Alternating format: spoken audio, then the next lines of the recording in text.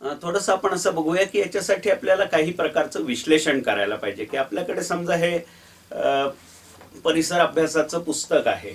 आणि या परिसर अभ्यासाच्या पुस्तकामधलं एखादं आपण जर प्रकरण घेतलं की जो आपल्याला शिकवायचा आहे उदाहरणार्थ याच्यामध्ये वस्त्र नावाचं एक प्रकरण आहे. समजा हे वस्त्र प्रकरण शिकवायचं असेल तर मग याचं कशा पद्धतीने आपल्याला विश्लेषण करायला लागतं? सामान्यतः आपण असं करतो की त्या पाठामध्ये काहीतरी दिलेलं आहे ते मुलांना सांगून टाकतो. पण तुम्ही जर अलीकडची पाठ्यपुस्तकं पाहिली ती नव्याने तयार झालेली तर तुमच्या असं लक्षात येईल की त्याच्यामध्ये खूप छोट्या छोट्या कृती दिलेल्या आहेत.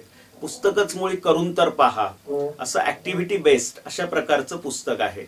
आणि मग खरोखर अशा प्रकारच्या ऍक्टिव्हिटीज जर वर्गामध्ये घ्यायच्या असतील त्या वैयक्तिक ऍक्टिव्हिटीज असतील काही गटाच्या ऍक्टिव्हिटीज असतील तर मग त्याचं नियोजन आपल्याला नेमकं करायला लागेल. आणि त्याच्यासाठी आपल्याला काही पृथक्करण करावं लागणार आहे किंवा अनालिसिस करायला लागणार आहे. तर तीन प्रकारचे अनालिसिस आपण मुख्यतः याच्यामध्ये करणार आहोत. त्यातलं पहिलं जे आहे याला आपण कंटेंट अनालिसिस किंवा आशयाचं पृथक्करण असं म्हणतो. आता कुठलाही आशय समजा हे वस्त्र हे प्रकरण घेतलं तर याच्यामध्ये कशाचं आपल्याला नेमकं कंटेंट अनालिसिस करायला लागेल? तर वस्त्र हा त्यातला एक टॉपिक किंवा घटक झाला. परंतु त्याच्यामध्ये उपघटक काय काय आलेले आहेत? म्हणजे वस्त्र कसं तयार झालं? कशापासून तयार झालं? अशा प्रकारचे घटक उपघटक असतील किंवा वस्त्र स्वच्छ कसं ठेवावं? याच्याबद्दलचे उपघटक असतील. किंवा वस्त्र जे आहे ते हवामानानुसार किंवा कुठच्या घटकांवरती वस्त्रांचे प्रकार ठरतात? वस्त्रांचा इतिहास काय आहे? असे त्या मुख्य वस्त्र या घटकामध्ये अनेक उपघटक असतात.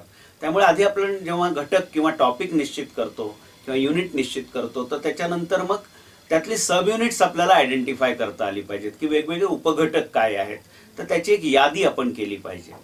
म्हणजे आपल्या कंटेंट अनालिसिसला किंवा आशयाच्या पृथक्करणाला सुरुवात झाली. मग आता पुढे उपघटक लक्षात घेतले आपण समजा. तर मग उपघटक कशापासून बनलेले असतात? तर कुठल्याही उपघटकांमध्ये अनेक संबोध असतात किंवा कन्सेप्ट असतात. म्हणजे उदाहरणार्थ वस्त्र हाच मुळी एक संबोध आहे कन्सेप्ट आहे. किंवा वस्त्र ज्याच्यापासून बनतं असा धागा हा एक आणखीन कन्सेप्ट किंवा संबोध आहे. किंवा वस्त्राची स्वच्छता हा एक संबोध आहे कंटेंट आहे. किंवा वस्त्राची स्वच्छता ज्याच्या साह्याने केली जाते असे विविध प्रकारचे साबण किंवा डिटर्जंट्स हा सुद्धा एक कन्सेप्ट किंवा संबोधच आहे. त्यामुळे आशय हा अनेक प्रकारच्या संबोधांनी किंवा सब कन्सेप्ट काही उपसंबोध असतात छोटे छोटे यांनी बनलेला असतो. आणि या संबोधांच्या मध्ये अनेक प्रकारची नाती असतात संबंध असतात रिलेशन्स असतात. उदाहरणार्थ हवामान आणि वस्त्र याच्यामध्ये काहीतरी संबंध आहे. कापूस रेशीम किंवा कृत्रिम धागे रेयॉन सारखे याचा आणि प्रत्यक्ष वस्त्राच्या गुणधर्मांचा किंवा त्या कापडाच्या गुणधर्माचा काही ना काहीतरी संबंध आहे. नैसर्गिक पदार्थापासून तयार झालेलं वस्त्र आणि कृत्रिम पदार्थांपासून तयार झालेले वस्त्र यांच्या गुणधर्मांमध्ये काही ना काहीतरी बदल आहे. स्वच्छता ज्यावेळेला आपण करत असतो वस्त्रांची त्यावेळेला स्वच्छता ज्याच्यामुळे करतो ज्याच्या साह्याने करतो आणि वस्त्र यांच्यामध्ये काहीतरी संबंध आहेत. तर अशा अनेक प्रकारचे संबंध हे सुद्धा आपण त्याच्यामध्ये विचारात घेत असतो. आणि हे जे संबंध असतात यातली काही संबंध हे सर्वसाधारण संबंध म्हणजे ज्याला आपण जनरल रिलेशन्स असतात की जी नंतर नियमांच्यामध्ये रूपांतरित होतात. उदाहरणार्थ हिवाळ्यामध्ये सामान्यतः लोकरीचे कपडे वापरले जातात. उन्हाळ्यामध्ये आपण सुती कपडे वापरतात.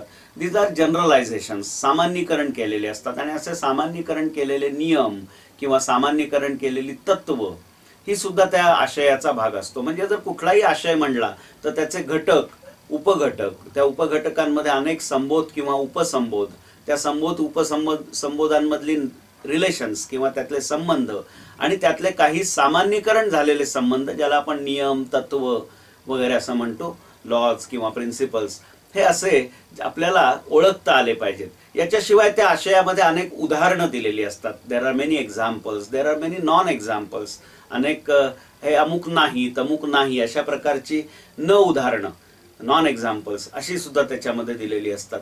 तर असं सगळं ज्यावेळेला आपण त्या आशयाचा विचार करतो आणि मग यांचं सगळ्यांचं एकत्र एक नातं तयार करतो त्याला एक माइंड मॅप तयार करणं असं म्हणतात. की या सम हे संबंध दाखवणं त्याचं एक छोटासा काय म्हणू चित्र काढणं. आणि ते- ते त्या चित्रामध्ये हे सगळे संबोध घट उपघटक वगैरे यांचं एकमेकांशी नातं काय आहे? कशाचा कशावर परिणाम होतोय? कोण कोणाशी जोडलं गेलेलं आहे? असं एक थोडंसं संबोधांचं एक जाळं तयार होतं कन्सेप्ट मॅप किंवा माइंड मॅप असं त्याला आपण म्हणू शकतो. तर अशा पद्धतीचं कंटेंट अनालिसिस हे शिक्षकाने आधी केलं पाहिजे. की इयत्ता चौथीला मी शिकवतोय. तर मग चौथीला यातलं काय काय असलं पाहिजे? यातला काही भाग असा असेल की तो थोडा मला शिक्षकाला म्हणून माहिती आहे परंतु तो चौथीच्या वयाच्या मानाने थोडासा क्लिष्ट आहे अवघड आहे. त्यामुळे तो कदाचित सातवी आठवीमध्ये मुलं शिकतील. काही भाग सोपा आहे. तो मुलांना आधीच माहिती आहे. म्हणजे आशयाची सुद्धा आपल्याला तीन भागामध्ये विभागणी करता येते की मुलं घरून शिकून काय येणार आहेत? मुलं घरी गेलेली आहे घरी काहीतरी शिकतात समाजात काहीतरी शिकतात. आणि मग नंतर ती शाळेमध्ये येत असतात. त्यामुळे काही माहिती काही ज्ञान काही त्यांच्या संकल्पना संबोध हे घरीच पक्के झालेले असतात दृढ व्हायला लागलेले असतात. शाळेमध्ये काही प्रकारचा कंटेंट ते त्या वर्गामध्ये इयत्तेमध्ये शिकणार असतात. आणि काही प्रकारचा कंटेंट किंवा आशय हे त्या नंतरच्या काळामध्ये शिकणार असतात. याचा अर्थ वर्गातल्या आशय अध्यापनाला काहीतरी एक बॅकवर्ड लिंक आहे आणि एक काहीतरी फॉरवर्ड लिंक आहे असं अध्यापकाने लक्षात ठेवलं पाहिजे. त्यामुळे कंटेंट अनालिसिस हा एक भाग झाला. मग दुसरं कशा प्रकारचं अनालिसिस करायचं असतं? आणि दुर्दैवाने गेल्या काही वर्षांच्या मध्ये याच्याकडे फार दुर्लक्ष झालेलं आहे. की आपण आशयाचं पृथक्करण एक वेळ करतो की हा हा आशय आम्हाला शिकवायचा आहे हा मुलांपर्यंत पोचवायचा आहे. आणि मग शिक्षक जणू काही मुलांच्या रिकाम्या डोक्यांच्या मध्ये हा सगळा आशय भरत जातो. पण असं अपेक्षित नाहीये. मी मगाशी म्हटलं असं मुलं काहीतरी घेऊन आलेले आहेत. ते त्यांचे पूर्वानुभव घेऊन आलेले आहेत. काहीतरी त्यांनी घरी शिकलेलं आहे. समाजामध्ये काहीतरी त्यांनी ऐकलेलं आहे. आणि मग त्याचा आधार घेत घेत आपण नवा आशय हा त्यांच्या मनामध्ये पोचवणार आहोत. परंतु त्याच्याशिवाय आणखीन काय करायला लागतं? तर या सगळ्या आशयाशी मुलं खेळत असतात एका अर्थाने. बौद्धिक खेळ जणू काही खेळत असतात.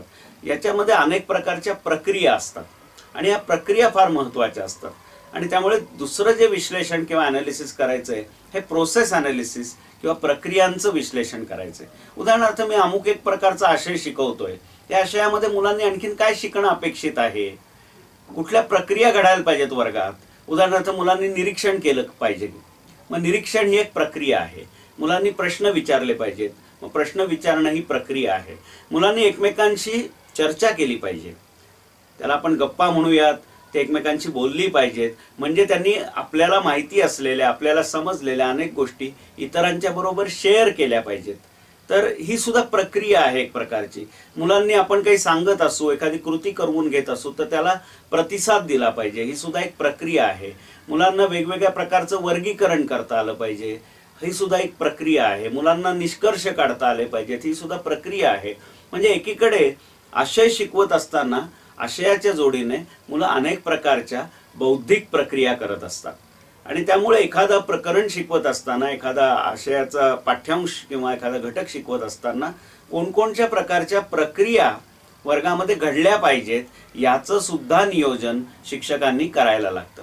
त्यामुळे एकीकडे कंटेंट ॲनालिसिस आशयाचं विश्लेषण एकीकडे प्रोसेस ॲनालिसिस किंवा प्रक्रियांचं विश्लेषण.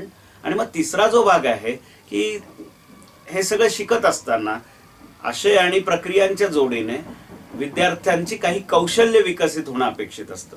उदाहरणार्थ मुलांचं निरीक्षण कौशल्य विकसित झालं पाहिजे मुलांचं लेखन कौशल्य विकसित झालं पाहिजे मुलांचं श्रवण कौशल्य विकसित झालं पाहिजे मुलांचं वाचन कौशल्य विकसित झालं पाहिजे. असं काही नाही आहे की मुलांचं वाचन कौशल्य फक्त भाषा विषयातूनच विकसित होतं. ते परिसर अभ्यास गणित अशा इतर विषयातनं सुद्धा विकसित होत असतं. आणि त्यामुळे विविध प्रकारची बौद्धिक कौशल्य कॉग्नेटिव्ह स्किल्स याचं सुद्धा विश्लेषण केलं पाहिजे. मग अमुक प्रकारचं मी वस्त्र शिकवतोय.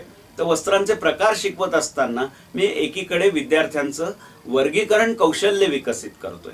किंवा मुलांना ज्यावेळेला मी अमुक कारणामुळे अमुक होतं अशा पद्धतीचं ज्यावेळेला मुलांच्याकडनं काढून घेत असतो किंवा शिकवत असतो त्यावेळेला तो शिक्षक जणू काही मुलांचं कॉज इफेक्ट रिलेशनशिप म्हणजे कार्यकारण संबंध कसे शोधायचे असतात याचं कौशल्य विकसित करत असतो. किंवा एखादं प्रकरण शिकवल्यानंतर एखादा घटक शिकवल्यानंतर एखादं असे काहीतरी मुलांना सांगितल्यानंतर मुलं जेव्हा तो त्यांच्या शब्दामध्ये सांगतात पॅराफ्रेझिंग करतात त्यावेळेला मुलांची अभिव्यक्तीची कौशल्य आम्ही विकसित करत असतो. मुलं चांगल्या प्रकारचं चित्र काढू शकले आकृती काढू शकले स्केच करू शकले एखादा डायग्रॅम काढू शकले तर आपण मुलांची त्या प्रकारची अभिव्यक्ती कौशल्य विकसित करत असतो. मुलं ज्यावेळेला प्रश्न विचारतात प्रश्नांची उत्तरं देतात त्यावेळेलाही मौखिक अभिव्यक्तीच्या कौशल्यांचा विकास होत असतो. आणि त्यामुळे शिक्षकाला कुठल्याही पाठाचं नियोजन करताना तीन प्रकारचं विश्लेषण हे आधी केलं पाहिजे. की माझा समोर त्या पाठाचा आशय काय आहे? त्या आशयाचं विश्लेषण तो पाठ शिकवत असताना वर्गामध्ये कोणत्या प्रक्रिया घडल्या पाहिजेत त्या प्रक्रियांचं विश्लेषण आणि तिसरा सगळ्यात म- महत्त्वाचा आणखीन भाग म्हणजे कौशल्य त्या विद्यार्थ्यांची कोणची विकसित झाली पाहिजेत तर त्याचं सुद्धा विश्लेषण किंवा अनालिसिस असं शिक्षकाने केलं पाहिजे.